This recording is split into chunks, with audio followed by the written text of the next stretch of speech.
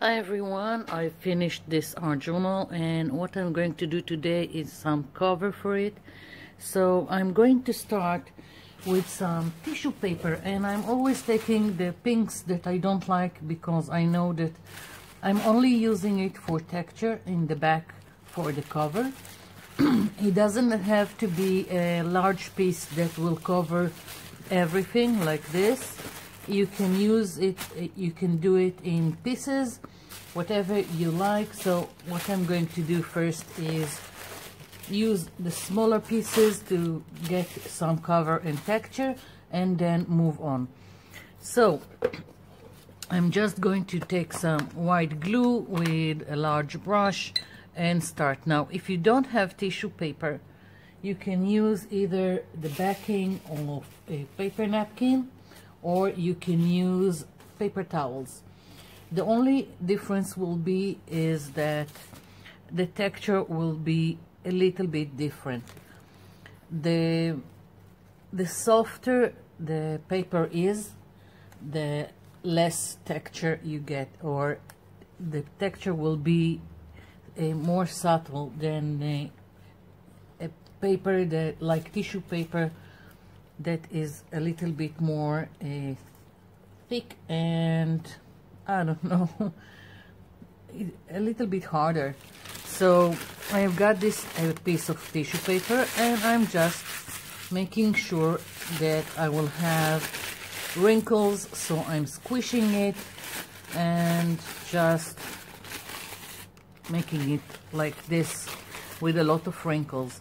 I'm putting it here on my uh, journal and again you can decide how much texture you want. And I'm leaving a little bit uh, out of the edges so when everything is done I can flip them over and tuck everything in nicely. So again here I can spread it out without uh, too much texture or I can uh, squish it and make more texture. This is completely up to you what you like. So I've got rid of this piece. I've got another piece here that I can use. And again I'm just squishing it. It's also uh, easier to deal with tissue paper after squishing it. Let's see. So just putting it here making a little bit more wrinkles and I'm also going over this piece. So I need to put more glue here. And I'm well even when I'm not overlapping between the pieces I'm going to go over and put glue on. It just makes everything uh, stick together and it's I don't know it seals everything nicely and also all the wrinkles. So that's what I'm going to do uh, all around my cover. And when it's uh, dry I will come back and we'll continue to the next phase. I'll be back.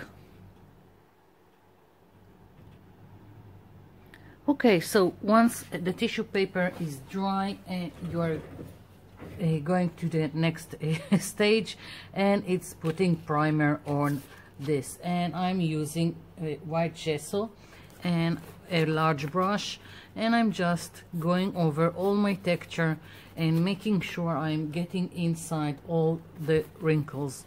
So I'm just covering everything with gesso. And of course now I will have to wait until this is completely dry before I'm doing anything on top.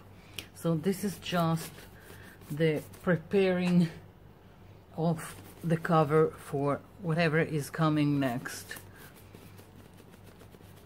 So uh, if you don't have gesso, you can try and mix white acrylic paint with baby powder talc and if you want of course if you want black gesso then the same thing only with black acrylic paint. So here we go. I'm just making sure I'm getting inside all these wrinkles that I will have a nice coverage. Like so. And I can also spread it although if it's uh, still wet then you need to uh, be careful about the spine. You don't want uh, uh, to fold it when it's still wet. It can tear everything or make some damage to what you uh, already done on the cover. And I can see I've missed some here. So this is it. Now I'm just letting it be and letting this dry. I'll be back. Okay so this is dry at last. The more texture you've got the more uh, time it takes to dry. And I want to put some design on uh, the cover. I am in the mood for circles and that's what I'm going for. You can do anything and you can even uh, print something that you like uh, and just copy the design whatever uh, you your you want to put on your cover. I'm going to do some circles and I'm going to do them with a glue gun. If you don't have a glue gun you uh, can still do any kind of design you want and you can use uh, things like jute or twine like uh, something like this. Just glue the design you want and that's it. So I'm just taking all kinds of circles and I'm going to mark them on my uh, cover. Like let's put one here. Doesn't have to be precise just so I can see it and go over with the glue gun. And I'm going for all kinds of sizes now you can do it only on the front of the uh, cover or you can do it also in the back. Up to you what you would like to do. And let's see let's put one here.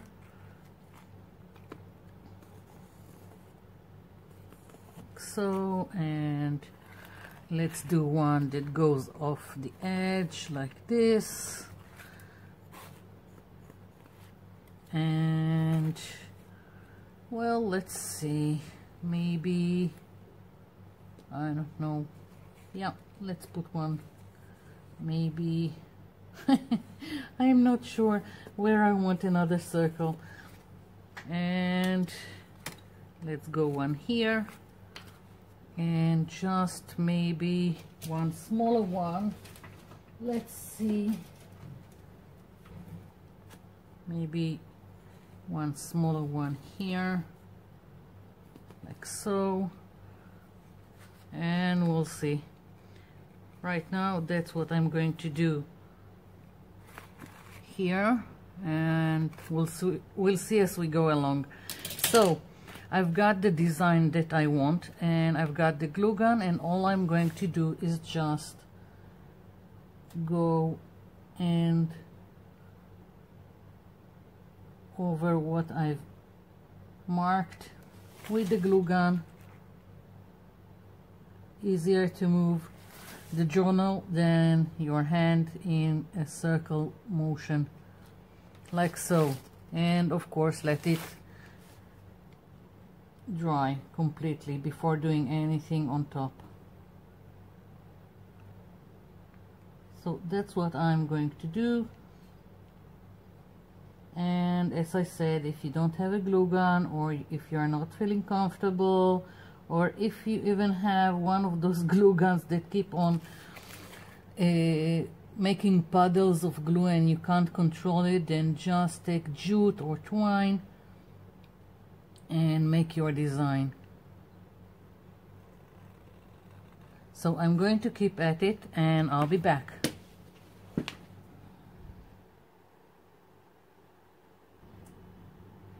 okay. This is dry. I'm only doing the front with this design. The other will be without this. And before I'm starting to uh, paint I want to get rid of uh, all these edges. I want to tap them in. I'm only going to put some glue. And first I'm doing uh, the corners. Just easier for me doesn't really matter which glue you are using whatever you've got. And I'm not even trying to be precise or careful because this is going to be covered. I will show you in a minute. So just putting enough glue so it will hold. And like so.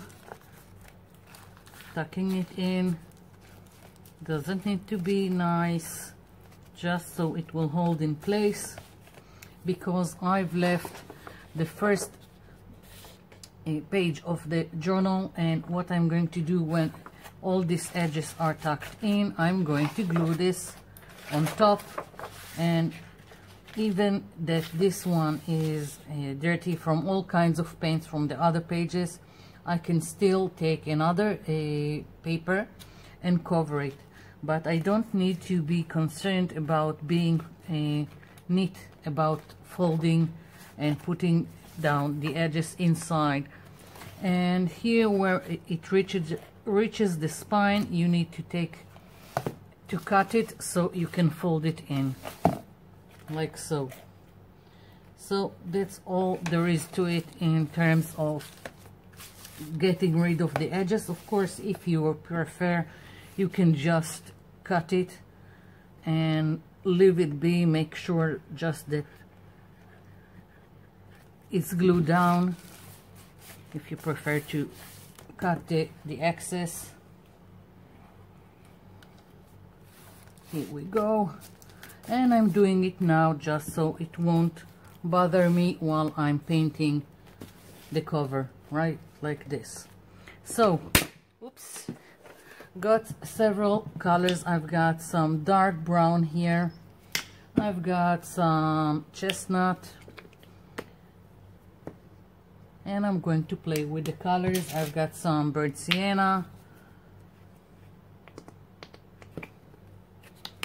And I also have some dark red.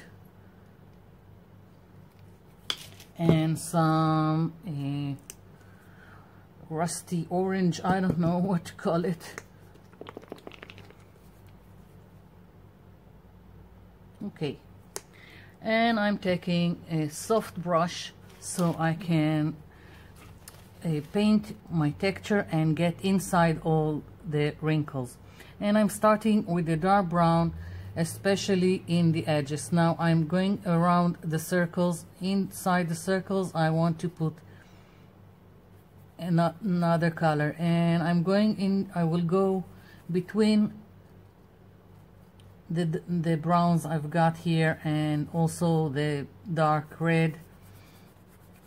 And just play with the colors. Now I can go over the glue gun or I can uh, later on put some gesso on it if I'm uh, concerned that it won't be uh, it won't accept any other paint and but the acrylic paint is quite uh, enough to cover it. I'm not being very careful when I'm going when I will go and paint inside the circles. I can put on again gesso in the places that uh, got a little bit more of the browns I can fix it. So as you can see I'm just switching between the colors and as I go I'm letting them blend. The only thing is that I'm keeping the darker brown to the edges. It just gives a more I don't know if to call it realistic but I don't know it's more um, I like it more that's it uh, I don't have the words to explain it.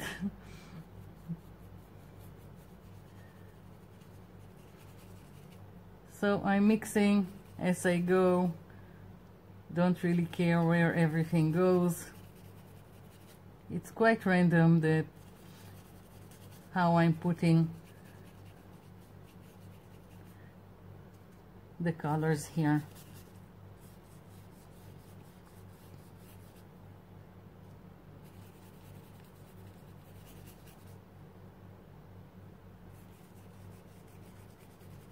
And if I feel that some areas are too dark or too uh, light I can also fix it.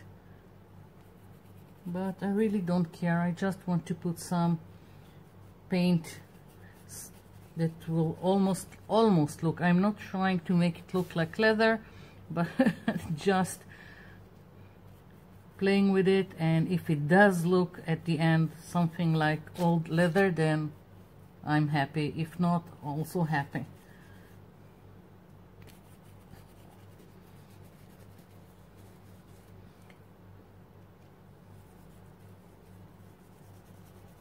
And of course I'm going to do it also at the back of the cover. And there it's even easier. I don't have to avoid the circles. Just putting down paint. So I'm going to continue doing this and cover everything. And then I'm going to come back and we'll continue okay so everything is dry. Now I want to uh, deal with the circles. And I am going to use some uh, more acrylic paint. I've got some yellow I've got some orange and I don't know maybe citrus uh, green. We'll see. I'm starting with the yellow and I'm going to put it inside this uh, large circle. Very quickly and easily and nothing to it so the only thing is I'm using a soft brush and I'm putting pressure so the acrylic paint will get into again all the texture I've got here. Here we go. So now I just want to give it a little bit of a less flat a block of color so I'm taking just a little bit of the orange and I'm adding it here at the, the bottom. And I'm just letting it blend into the yellow just to make it look a little bit more uh, or a little bit less flat. So this is one circle and I'm just taking another brush and I'm going to do one circle with let's do an orange one here. It's not bright enough. I have another uh, acrylic paint orange acrylic paint. This is better I think. So again just going inside all this texture and of course let's do I don't know let's do this one also. I have a lot of paint here so trying to use it somewhere else. Okay so let's take another brush and go for the citrus green only I want to do the same thing I've done here. So maybe I'll take I still have this dark red. So I'm gonna add it here. And again look it make it look less flat like I've got some shading to the circle. And I'm letting it blend into the orange also here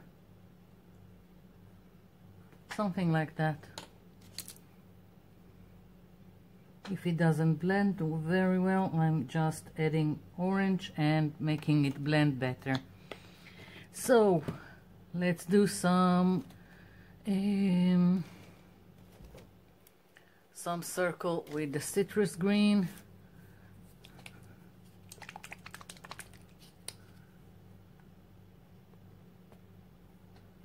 and of course I will have to find some darker green to do the shading.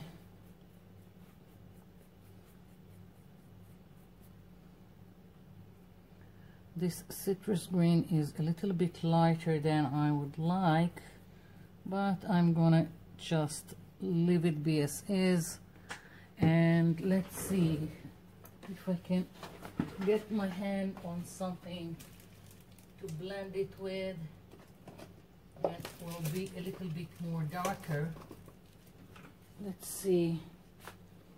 I've got another green here.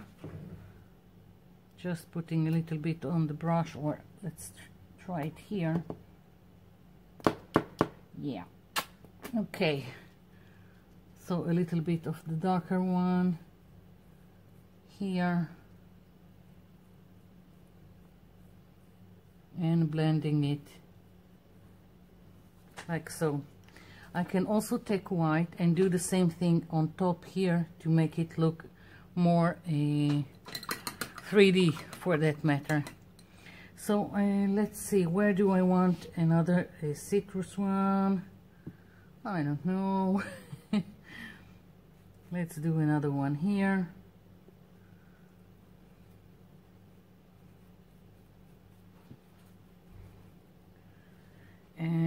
And, and, and, I don't know.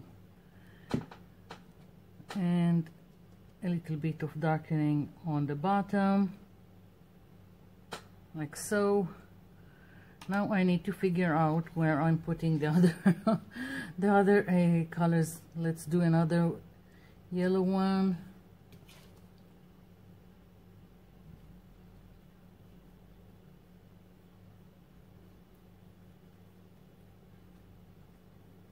and of course I'm taking a little bit of the orange and doing some shading at the bottom. Not an exact science just having fun with it. I think I will put another yellow one here.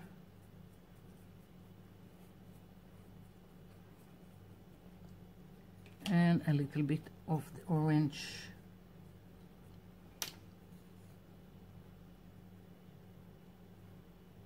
yeah. Something like that. And and and.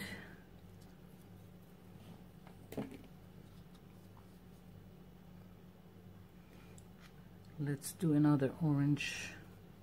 Oops too much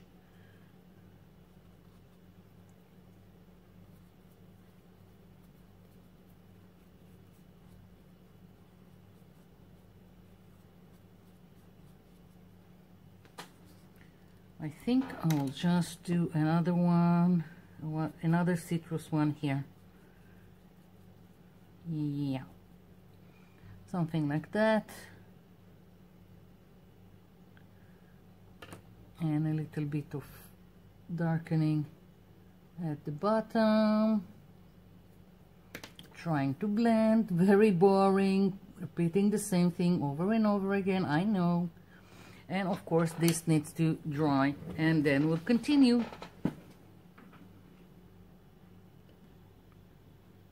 I'm back. Now I want to uh, uh, make all this texture we worked on uh, more visible and I want to add some shine. I've got here some copper bronze and a gold acrylic paint and I've got some sponges and probably will use some uh, brush we'll see. You can go about it in several ways that I will show you. Now um, you can just take a hard bristle brush take a little bit of the acrylic paint dab it load the brush but make sure that the the paint is going in but not uh, too much of it and very gently you go about where you want it and you dry brush over the texture. And I'm keeping the bronze like I've used the dark brown to the edges. Then I'm going to use the bronze to the edges to where my darkest colors are like so. And I'm dry brushing over it. Don't know how much of it you can see because all the, the shimmery things can hardly be seen on video. I will uh, bring it closer to the camera in a minute. And as you can see I'm just going over the edges with the bronze and dry brushing over the texture. Of course if I want I can go in. It's not an exact science. You can put it wherever you want. So this is uh, no this is the copper the copper is the darkest so that's what I've used for the edges. I'm going in now and taking a little bit of the bronze again with the brush. And it doesn't have to be with the brush. It can be with any kind of a sponge. Again taking a little bit but not something that will uh, if you squeeze the sponge it will uh, get out. And you can gently again go over like this over your texture. And now it's only picking the raised areas mostly the raised areas. Depends how gentle you are and have patience for it. So again you can dry brush you can do it with a sponge whatever works for you you can always do it on a piece a, side work on it and practice and only later on uh, go and edit to your project when you're feeling that it works for you. Now it's not as I said a, an exact science. Sometimes I like to go with darker color inside and mixed between the copper and the bronze and uh, the gold. I'm keeping the gold mostly. I want to add it to inside of the circles and to the border of the circle. So I'm not using it yet. And uh, again we'll see later. Maybe I will decide to add it in several places where I want more highlights. It's really how you feel about it and how, how you want it to look. There there are no rules to it. And now I'm going here on the spine. Of course I will go I will go and do also uh, the back of the journal. But right now I'm keeping it to here.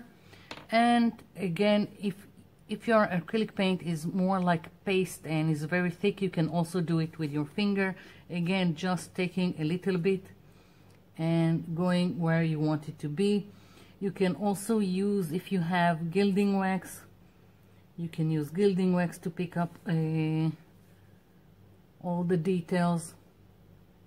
Whatever works for you. If you've got like an acrylic pen, like Posca pens, and you feel more comfortable controlling that, then again, that's what you can use to go over the raised areas. I'm going now with the gold over the edges of the circles. Maybe later on I will add some gilding wax to make it uh, shine better. I don't know we'll see and I don't mind when it's going inside the circle.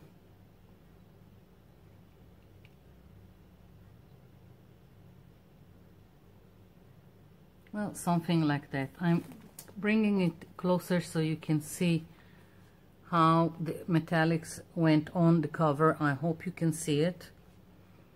So now I'm uh, really thinking of adding a, from the copper to most of this. I really like how the copper worked on it so I'm just going in several places and adding again because I feel like it. It seems to me that it works on this cover more than the bronze. So I'm just adding in several places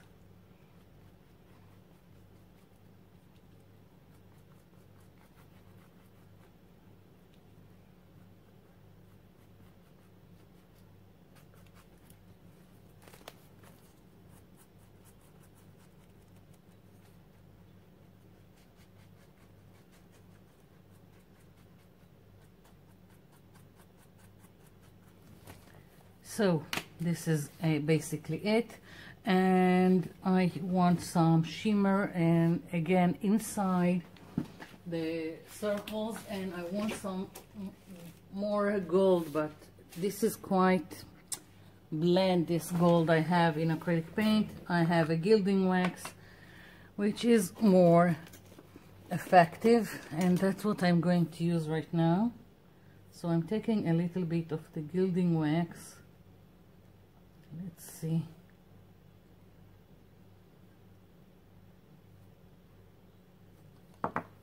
So I've got some gilding wax and again spreading it and so I will have a little bit on my finger and going inside.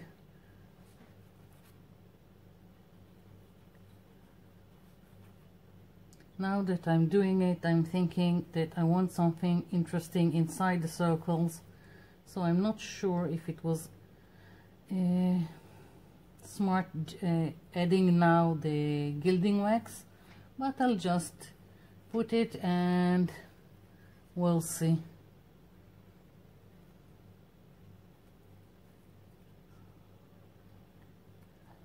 Okay so I want something inside the circles. I don't want to leave it as is I'm thinking some kind of a a stamp inside and I have a lot of texture here. So what I need to do is decide on the, the stamps. I want stamp it on the backing of white paper napkin and then glue it inside each circle. So I've got one layer of paper napkin and let's see what am I going to take for stamping inside? Probably butterflies. Big shot here. Yeah. So it will probably be butterflies. I've got several. And what else? We'll see. So basically what I'm going to do and let's see if it fits one large butterfly here not sure about it. And this one I don't know. Let's see if something like this will fit. Eh, almost. Well I will try to squeeze this one in. So basically what I'm going to do is take out the stamp and I'm using the backing of white paper napkin because once I glue it with white glue it will disappear into the background. That's why I'm using it. So one stamp at least for the large circle making sure I have enough ink here. And it's probably better if I will have some craft foam underneath so to get a great print. And now just flipping it over. Putting pressure. And letting it be for a few seconds because I really like an, a great print. Okay, good enough. So now I'm taking a very narrow brush with a little bit of water and going around so I can take this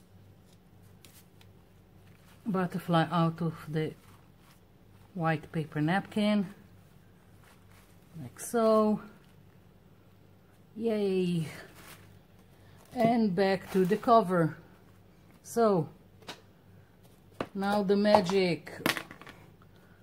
The magic of paper napkins. I need a soft brush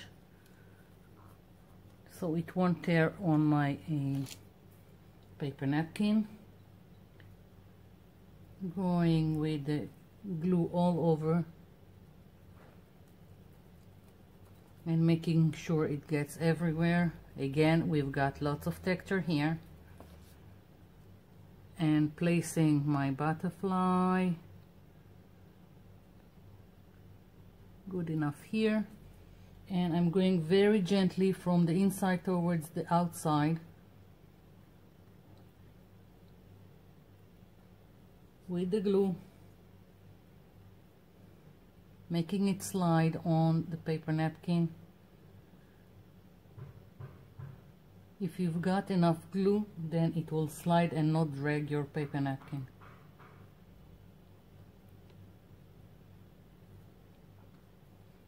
When it's dry it will completely disappear into the background. And I've got a little bit of excess here where it gets to the borders but I will just glue it like this. And I'm tucking it into the border like so.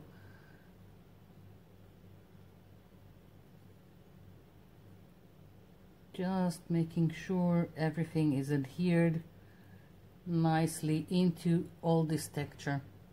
So I'm going to do more butterflies that will fit inside the circles and I'll come back so here it is decided that I only need three uh, butterflies in the more the larger circles and I'm leaving it be. So this is my uh, journal cover.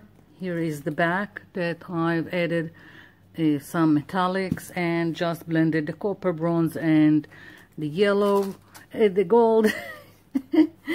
And this is it. That's all, the whole thing so I hope you liked it. Hope you try your hand at something like that. And thank you for leaving me comments below. I'll be seeing you in my next video.